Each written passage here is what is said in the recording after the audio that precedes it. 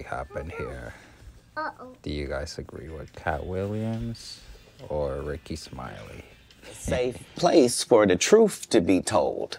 You know what I mean? Thank you. I appreciate and that. I have watched all of these lowbrow comedians come here and disrespect you in your face and tell you straight up lies. I'm talking about things that have never been heard in all of Black Hollywood. They feel comfortable sitting here lying to you about it. You gonna set the record straight? Are you kidding me? You let Rickey Smiley sit here and you said out that mouth, you stole Friday after next, the one I was in. I wish all, all of America fumbled a bit when that happened. And, and then he after- said, and Friday after next. Yeah. How was that experience? Why, why we go through this, man? I I don't- brothers. I, I believe we related, but go ahead. You were originally supposed to play Katt Williams' character. Yes. And Katt Williams was supposed to play my character. And somebody said, no, we want you to play Mike. The uh, thieving ass Mike." Santa Claus.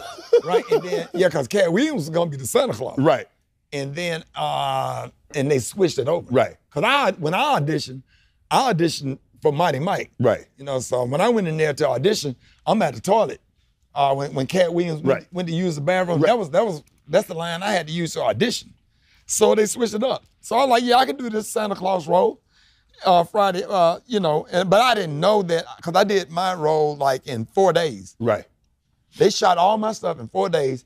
I went back to Birmingham, came back out because they changed the ending. Did you Right. know that? Right. No, I didn't. No, you know the ending where they got the fighting or Right. whatever. The ending was me giving out Santa Claus giving out presents to his kids. Right. So the the test audience didn't like the way it ended, so they changed the ending. Right. So I had to come back. The scariest thing was laying down in front of that limousine, Right.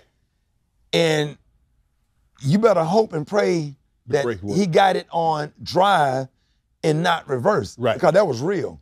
Okay. But I had to really lay there while that limousine peeled off. Right. So they let they allowed me to get up about three or four times Right. to go and look at it to make sure I said go up. I put it in reverse. I said put it in drive. Put it in reverse. So I got comfortable. I said okay, let's go. I said hey, we're gonna do this one time, one time. So they actually did it twice, and that was scary. And the part where the Santa Claus got with the clothesline. Right. When we were laying on the ground, we was in a real backyard somewhere south of LA. Right. Shannon, why was maggots in the dirt?